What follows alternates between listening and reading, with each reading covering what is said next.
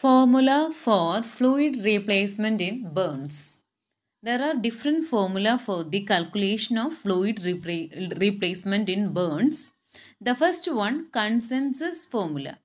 The consensus formula here the first thing what we what we are giving is electrolyte.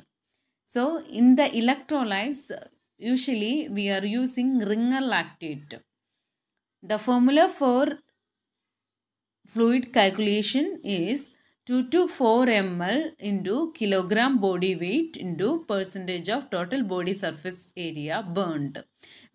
Based on this formula, we are identifying the amount of fluid that should be inserted to the patient and half to be given in the first 8 hours and the remaining half to be given over next 16 hours.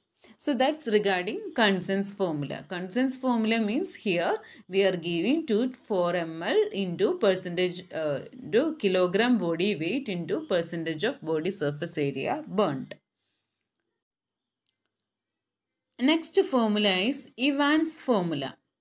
Evans formula here colloids we will be given, electrolytes we will be given. So in case of electrolytes the formula is 1 ml kilogram body weight into percentage of total body surface area burned. So the here the electrolytes in. Consensus formula we are giving 2 to 4 ml into kilogram body weight into percentage of body surface area burned but here 1 ml is used. 1 ml into kilogram body weight into total body surface area burned. That is the formula for the electrolytes. Mainly saline we are giving in Evans formula. And uh, here we can give colloids. The colloids formula is 1 ml. Again the same as electrolyte here. 1 ml into kilogram body weight into percentage of total body surface area burned and in case of insensible water loss we are giving glucose 5% dextrose in 5% dextrose so in case of insensible water loss we are giving glucose that is 5% dextrose. In day 1, half to be given in first 8 hours, remaining half over the next 16 hours. In day 2, half of the previous day colloids and electrolytes. Maximum of 10,000 ml over 24 hour. Evans formula. Here we are using 1 ml kilogram body weight into percentage of body surface area burned. That is the formula we are using. Here the electrolytes also can be used, colloids also can be used. Electrolytes normally we are using saline and the colloids that's based on the needs of the patient. And in case of uh, insensible water loss, if the insensible water loss 2000 ml, we are giving glucose that is 5% dextrose. And the division of fluids in each day that will be vary. In day 1, same as consensus formula that is half of the fluid need to be given in 8 hours remaining half over the 16 hours. In day 2 half of the previous day colloids and electrolytes all the insensible water loss. So if we are uh, giving 4000 ml of fluid in the previous day we are giving 2000 ml in the next day.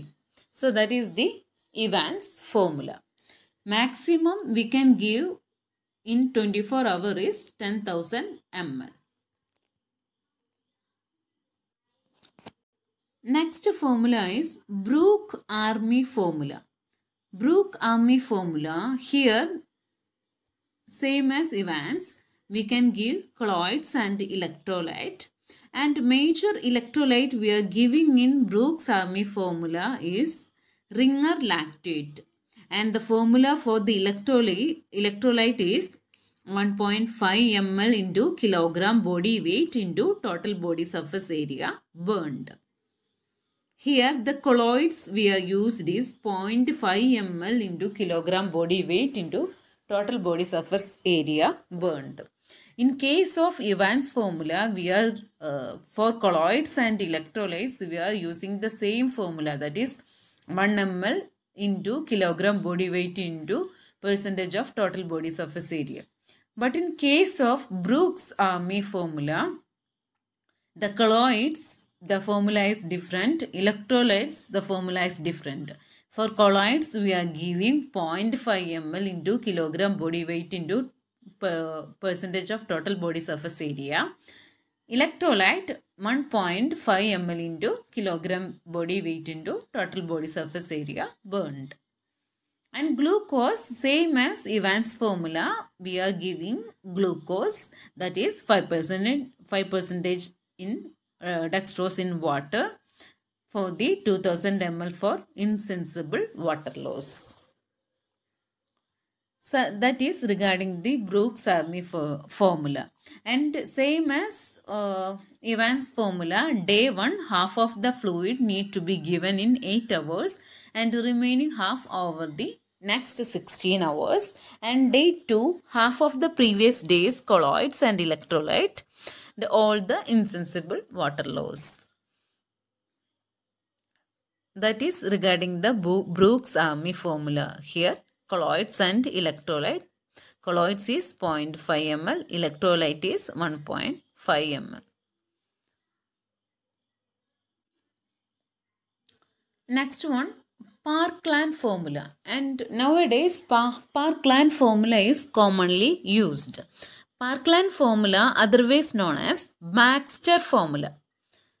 Here, the ringer lactate or the electrolyte, the formula is 4 ml into kilogram body weight into percentage of total body surface area burned. And this Parkland formula applied for second and third degree burns.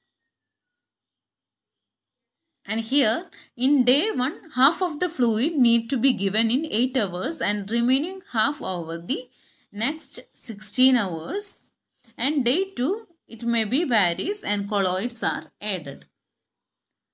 That is regarding the Parkland formula. In Parkland formula we are giving 4 ml into uh, kilogram body weight into percentage of total body surface area burned. And Parkland formulae or the Baxter formula is commonly used formula nowadays and mostly it is applied for second and third degree burns. Thank you.